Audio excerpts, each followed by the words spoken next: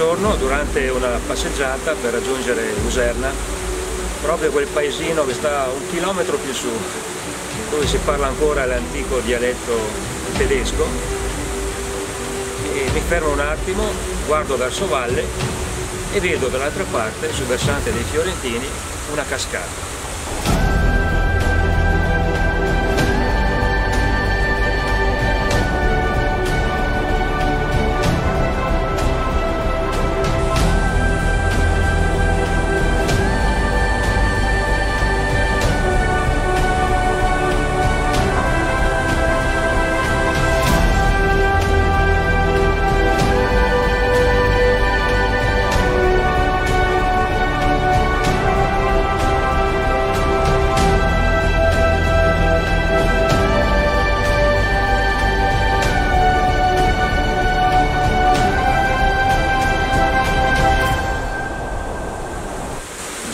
Dopo con mia moglie Stefania e Giorgia partiamo alla ricerca della cascata. Non è stato semplicissimo trovarla, ma alla fine con un po' di, di difficoltà la raggiungiamo e scopriamo che non c'è solo una cascata, ma c'è anche un laghetto, è profondo, di acqua limpidissima, un posto nascosto, un posto sconosciuto un posto bellissimo, non c'è neppure il sentiero per arrivarci.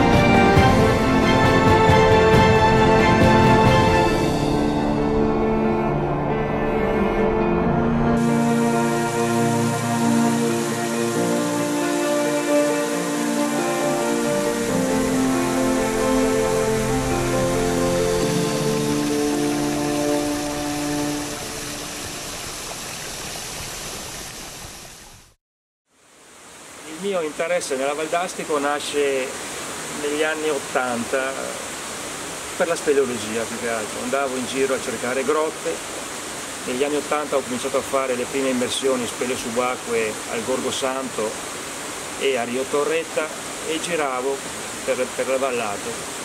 I posti mi piacevano, mi piacevano veramente, tanto che con mia moglie Stefania abbiamo deciso di eh, fermarci una settimana, fare una vacanza a Ponte Posta, non Rimini o Jesolo, Ponte Posta.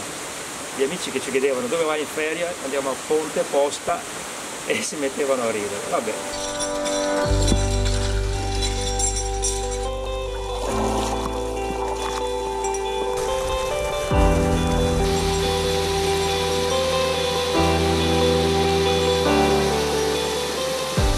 Le ferie rientriamo a Vicenza e contatto gli amici del gruppo Grotte Trevigioli e riesco a convincerli, riesco a, convincerli a, riesco a, convincerli a, a seguirmi nell'esplorazione di questa forra. Avevamo già una piccola esperienza di forre nel Veronese come il Vaio dell'Ossa, le cascate di Fumane, ma questa era una forra nostra, fatta da noi e quindi aveva un valore aggiunto diciamo.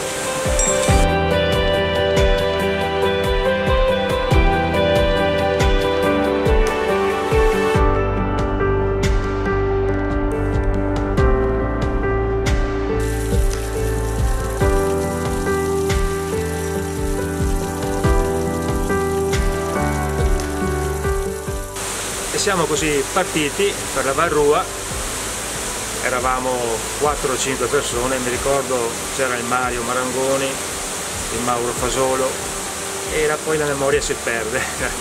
Abbiamo risalito il versante sinistro della, della Varrua su una traccia da calciatori, fin tanto che ci è sembrato di, di, di arrivare a un punto giusto ci accorgiamo che il torrente ha scavato, ha scavato una, una forra profondissima e abbiamo deciso di calarci. A quel punto abbiamo fatto una doppia su un albero sull'orlo de, del precipizio, una doppia di 50 metri esatti e arrivati sul fondo ci accorgiamo che non è solo una cascata, ma è tutta una serie di cascate che dobbiamo attrezzare per scendere piantando degli spit a mano perché all'ora del tempo non c'era ancora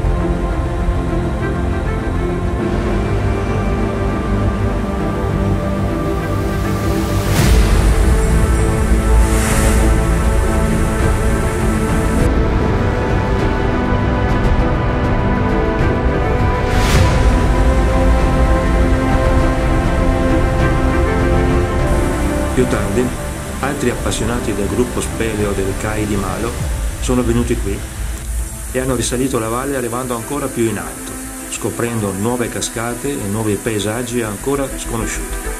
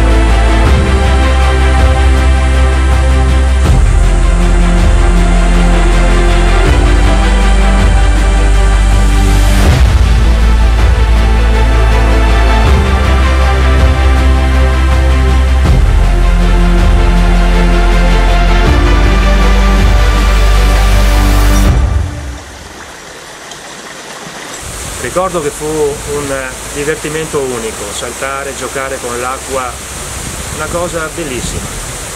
Sono tornato più e più volte con altra gente, con amici, accompagnando altre persone, per far conoscere, per condividere con loro questa gioia, questo gioco dell'acqua. E ancora adesso, che sono passati più di 30 anni, rivedo questo posto e lo ritrovo ancora intatto e bellissimo.